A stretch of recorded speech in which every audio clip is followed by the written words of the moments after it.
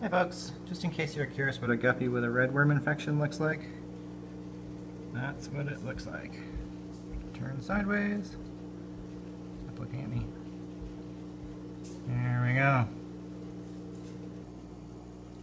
As a comparison to a healthy guppy, that's a healthy female there.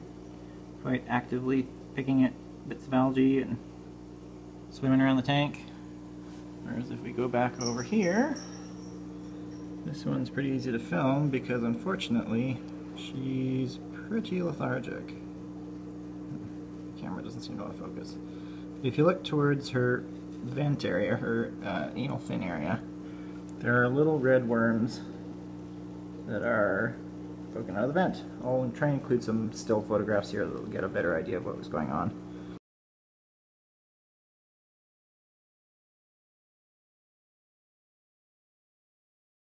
So, um, levamisole is usually the recommendation. It's a sheep dewormer, becoming harder to find. Um, we're about to go visit the vet to see if there's something that they can give us today. Um, this one isn't going to make it in terms of waiting for something to come online, so live and learn. We came back from vacation and saw this and recognized what we needed to do. So because this is a 10 gallon tank with both plants, guppies, shrimp, a few other bits and pieces in here, um, limits your choices just a little bit, but that's where we're headed. Well, here we go. We managed to track down some medication. So it turned out to be incredibly difficult to locate any medication suitable for treating camallanus worms, which is what the red parasites are. Um, we phoned around to about 11 different vets, most of which had never heard of it, some of which could get it on notice, one of which told us that levamisole is not actually available in Canada um, until our desperate pleas on one of our local Facebook groups actually found a guardian angel that actually had some levamisole in stock. So after a quick 40 minute dash up to her place, thank you very much again, Sarah, for having this in stock. Um, we've ended up with these space age uh, health containment units you see in front of us. This is just uh, aluminum foil wrapped around our 10 gallon tanks. Um, levamisole is actually quite light sensitive, so for the initial treatment, which is um, 2 milligrams per liter, which works out to approximately, uh, the way we did it was we take an eighth inch or eighth ounce um, or one eighth teaspoon measure, which would treat 50 gallons, um, cut that into five separate portions, and dosed these two 10 gallon tanks. Now, um, I don't get anything crazy. I don't try and account for the volume of the filters or anything like that. I just said, here you go. Um, and you have to isolate that from light for 24 hours.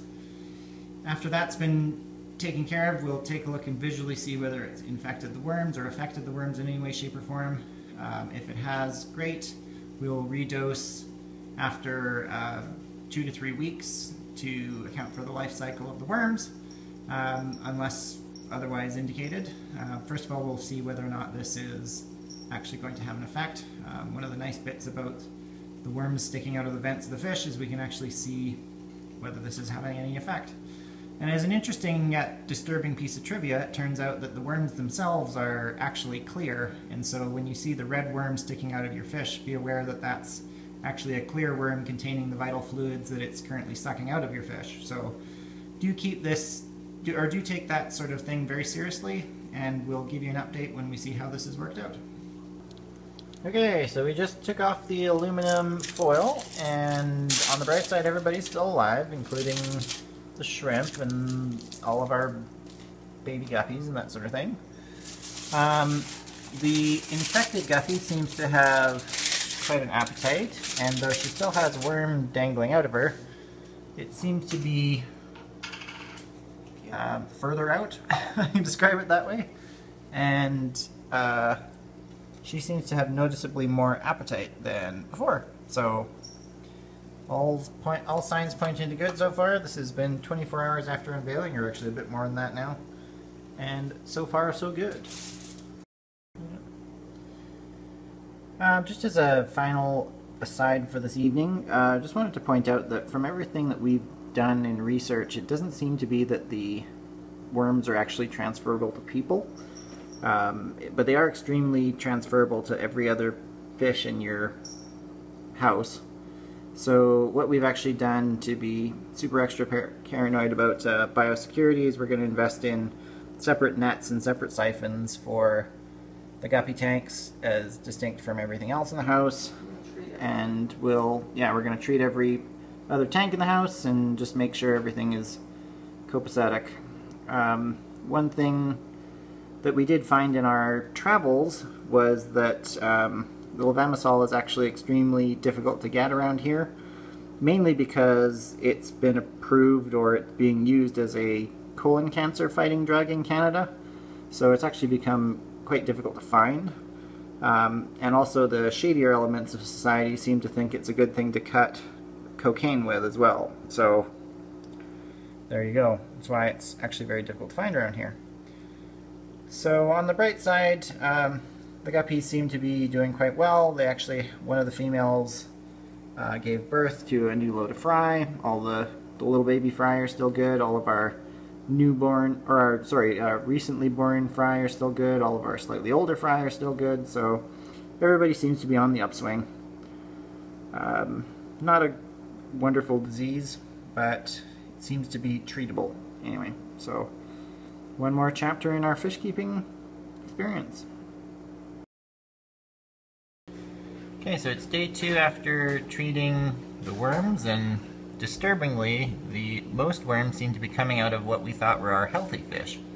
So I don't know if you'll be able to pick it up on the video, but this is one of our fatter females, and she's trailing a whole bunch of worms.